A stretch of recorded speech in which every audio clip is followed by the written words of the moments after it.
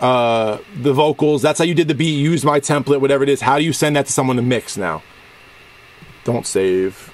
Let me go to here. This is exactly what I sent Alex. No different, no variation. I'll show you exactly what how I labeled everything, what I did.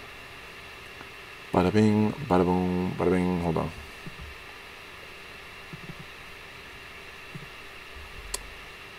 This is dry. Okay, yeah. This is how I sent it. So you'll notice all my sends are gone. So under all these things where I had all the reverb, all the delays, everything I did, gone. My vocal template came from Alex. So he knows what I'm doing with my doubler. He knows what I'm doing with my short reverbs and my short delays and all that shit. That stuff I can leave to most engineers I work with. I can give them this dry vocal, which look has nothing on it. Some say a lot till it's sitting, but Has nothing on it. I can give them this completely dry vocal. Look at no vocal chain, my whole Tumay chain with all my shit in it, gone. All that's in here is completely dry vocals. That's it. There's nothing else in here. Like, they have nothing on them. There's no EQ. They're completely dry, and it says main group, main one and two. Stacks group, stack one and two. Adlib group, adlib one through five. And all my panning stays. All the stuff I did with my panning, anything you did with auto tune can stay. Anything you did with like a filter that you really, if you did like a uh, certain, let's say like a phone filter or something like that, distortion, this and that, you can always leave stylistic things like that. But for the most part, no vocal chain, no EQ shit at all, really. Like I take everything off. That's the level of trust I have with Alex, but I have that same level of trust with Jeff Ellis. I have that same level of trust with like Nathan Burgess, who did Unlocked. Same level of trust with Ali. I don't have to give these guys this thing with my my shitty vocal chain on it. The point of my vocal chain was to make it sound good in the studio that day, make it sound good for the artist, make it sound good for the demo.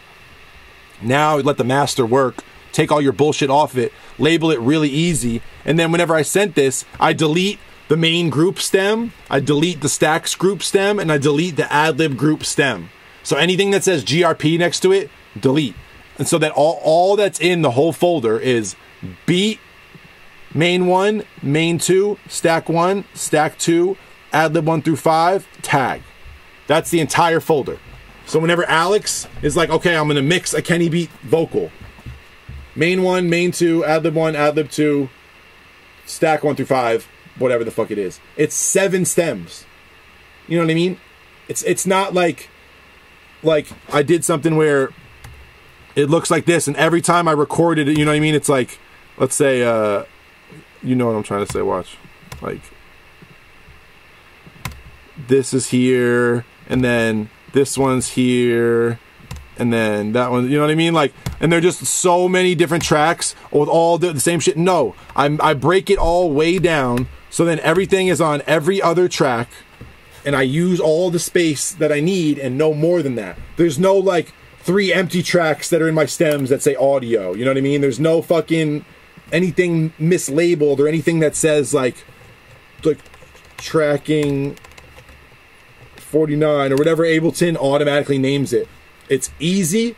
They know that these stacks, stacks or harmonies or backgrounds always mean, okay, these are lesser than the mains. Main always means this is the top vocal you need to focus on. And then ad lib or whatever you want to call them, um, backgrounds, you know what I mean?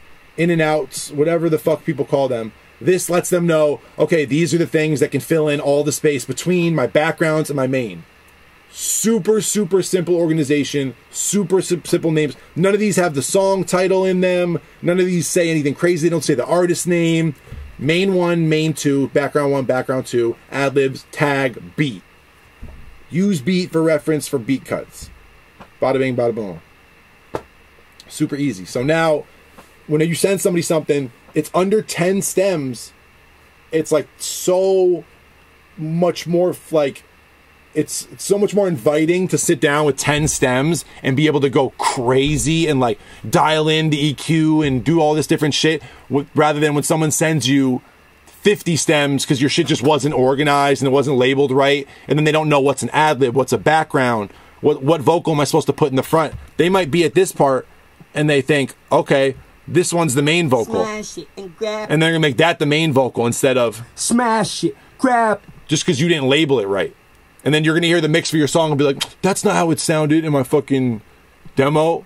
You gotta be like having a real discussion with someone about how you do your thing so they can understand how to replicate that. Because everybody's different and just throwing somebody stems and hoping for the best especially if they're not organized especially if they're not labeled it's a wrap for you. Okay i'm done. Let me see if eris let's see if eris sent me the fucking opus all right don't save. Eris did you send me that